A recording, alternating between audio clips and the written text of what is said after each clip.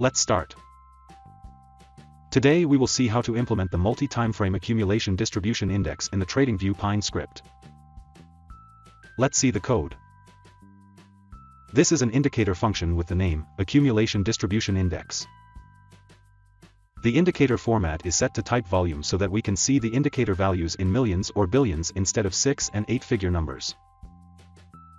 First, we take the user input for the higher time frame. The default value is set to the weekly time frame. Here we calculate the accumulation distribution index. Then we use the security function to calculate the higher time frame index. The first argument of this function is the current stock name. The second argument is the higher time frame. The third argument is the accumulation distribution index. The bracket 1 written in front of it avoids the indicator repainting issue. The fourth and fifth arguments handle the gaps and the bar merge. Here we calculate its color. If the index is going bullish, we color it green, else we color it red. And finally, we plot the index. Let's add this indicator to the chart. As you can see, the accumulation distribution index has been added to the chart.